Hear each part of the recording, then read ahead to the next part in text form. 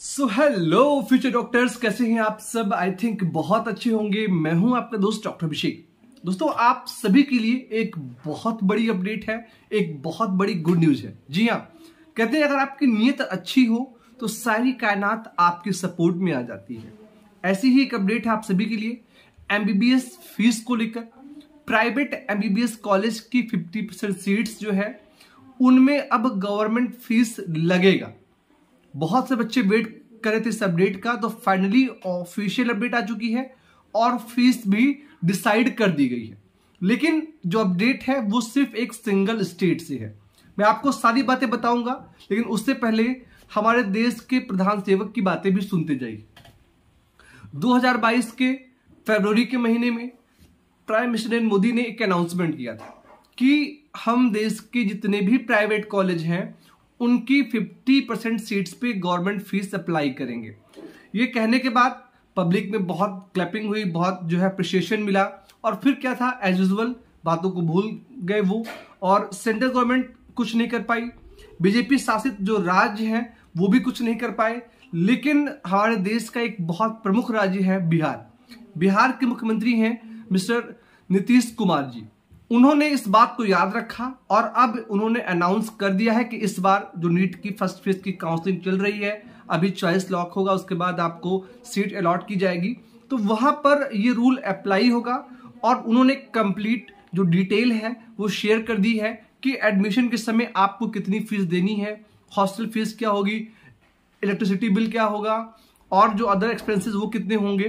तो आइए मैं आपको दिखा देता हूँ कंप्लीट डिटेल कि आखिर पूरा फ़ीस का शेड्यूल क्या रहेगा, जो आपको देना है किसी भी प्राइवेट कॉलेज में? सो so फ्रेंड्स आप सभी के सामने है हिंदुस्तान का ये आर्टिकल जहाँ पर सब कुछ बहुत क्लियर शब्दों में बताया गया है। आप देख रहे हैं आर्टिकल डिटेल है एमबीबीएस एडमिशन बिहार के निजी मेडिकल की आधी एमबीबीएस सीटों पर सरकारी दर की, दर से दाखिला, ठीक है?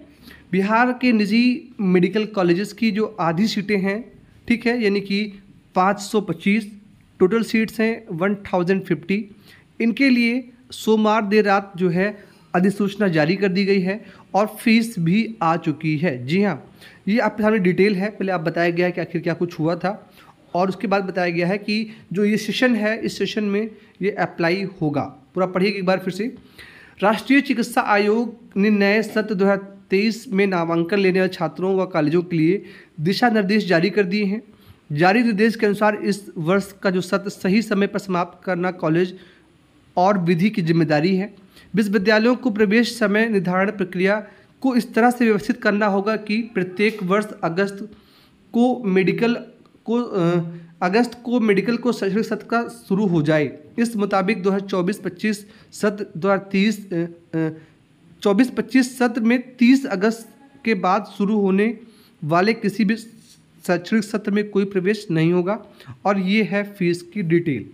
नामांकन शुल्क एक हज़ार रुपये शिक्षण शुल्क नौ हज़ार रुपये हॉस्टल शुल्क बारह हज़ार रुपये जमानती शुल्क दस हज़ार रुपये बिजली खपत बारह सौ रुपये पत्रिका शुल्क पाँच सौ रुपये कॉलेज गतिविधि एक बार देना है दो हज़ार रुपये ठीक है? इसके अलावा छात्र कल्याण शुल्क पाँच हज़ार रुपये छात्र संघ शुल्क सौ रुपये ये फ़ीस आपको देनी है अपने MBBS एडमिशन के समय।